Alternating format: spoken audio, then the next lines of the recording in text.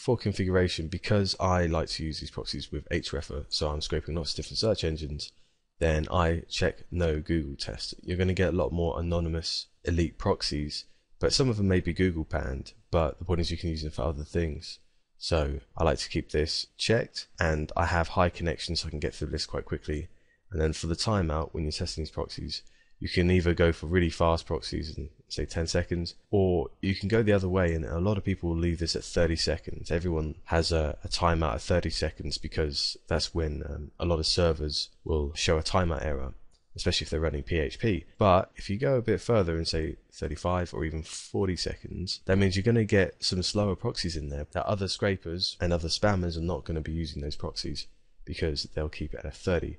Uh, so you can go either way with that, but do keep in mind that it will take quite a bit longer to, to check 25,000 proxies if you're going to 40 seconds. So I'm going to turn that down to 32. And as I said, I'm not doing a Google check. You will have to uncheck this if you're looking for proxies to check PageRank with. But if you're just using them for scraping or signing up to sites, then no Google test will make your proxy checking much more profitable and much quicker too. So now that's all done, I'm going to say test all proxies once you've done this a few times, you'll start noticing patterns. You can see that here I've got a lot of 99 and 98 IPs.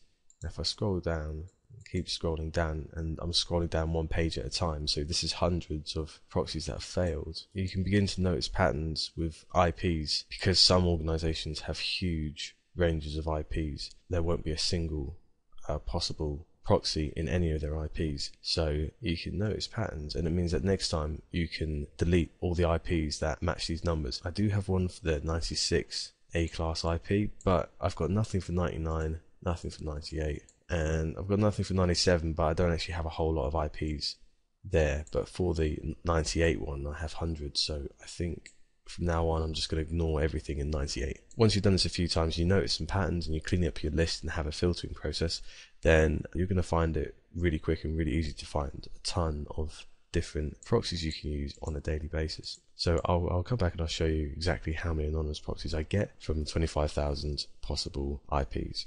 Okay, so we've now finished and we got 1858 elite anonymous proxies for free. I showed you earlier Hrefer where I got 10 million URLs in 9 hours with about 600 proxies. So do the maths and this is enough to get 30 million different link targets to, to test further with your link building software. So uh, I don't know how much that would cost if you had private proxies to, to scrape the same search engines over and over again and the chances are you couldn't because you get banned. So although these proxies are slow, and they will fail in in in maybe 24 hours, maybe 48 hours. The, point is, you know, there's a ton of them and they're free and they will help you with all your SEO tools. Okay, so the last thing we want to do is keep anonymous proxies.